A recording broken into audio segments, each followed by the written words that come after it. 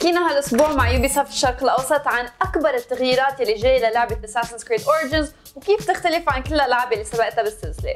فيكم تشوفوا الفيديو الكامل بالرابط بالأسفل بس بالأول بتعرفوا شو؟ خلينا نبلش حلقه هالأسبوع من IGN Weekly Fix صحيح نطرنا شي 10 سنين عبالنا ما كانت نزلت Final Fantasy 15 بس شركة Square Enix عم بتكافئ صبرنا بشكل كتير كبير.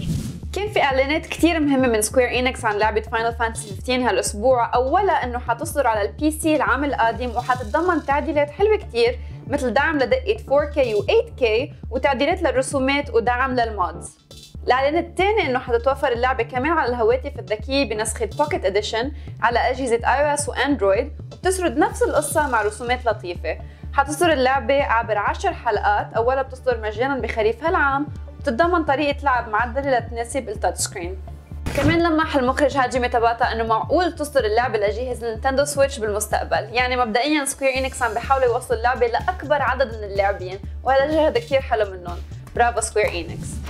إذا ما صح لكم الفرصة لتلعبوا ال demo للعبة PES 2018 الشهر الماضي أو إذا لعبتوه بس بعدكم ما زهقتوا بدكم تلعبوا أكثر، كونامي في عندها الحل لكم. أعلنت كونامي عن توفر demo تاني ل PES 2018 حيجري ابتداء من 30 أغسطس الجاري وحيشمل مجموعة من أشهر الفرق الأوروبية مثل برشلونة ودورتموند وليفربول.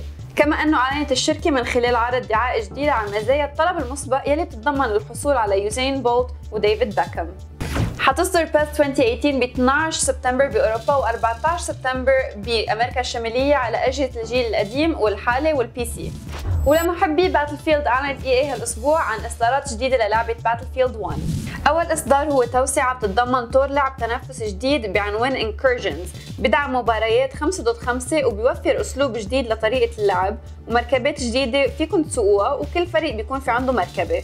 تاني إصدار هو نسخة جديدة للعبة Battlefield 1 Revolution بتتضمن اللعبة الأصلية و Premium Pass بسعر 60 دولار. بحب أذكركم إنه المحتوى الإضافي The Name of the Tsar حيصدر بسبتمبر Turning Tides بديسمبر و Apocalypse بأول عام 2018 وبالحديث عن ألعاب التصويب أعلنت Ubisoft إنه لعبة Rainbow 6 Siege حتتوفر مجانا بعطلة نهايه الأسبوع.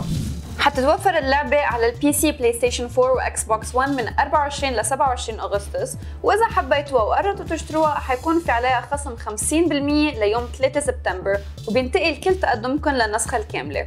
وابتداء من 29 أغسطس حتتوفر محتويات Operation Blood Orchid يلي بتضيف ثلاث عملاء جداد وخريطة مدينة ملاهي مهجورة. فيكم تتابعوا الكشف الكامل ضمن نهاية Pro League عبر بث مباشر حيحصل ب 26 أغسطس. فيكم تشوفوه بالرابط بالأسفل. وبالحديث عن Ubisoft أعلن الشركة عن تاريخ إصدار لعبة ال motorsport The Crew 2 يلي حيكون ب 16 مارس على ال PC PlayStation 4 و Xbox 1 The Crew 2 بتتميز بعالم مفتوح فريد من نوعه وإذا طلبتوها مسبقا حتقدروا تبلشوا لعب قبل بثلاث أيام من اصدارها الرسمي هذا كان كل شيء. هالأسبوع كانت هاي أهم الأخبار اللي وردت وكنت معكم لنجسر تذكروا على طول فيكم تحضروا IGN Weekly Fix كل خميس على الموقع أو على يوتيوب. وبشوفكم الأسبوع الجاي.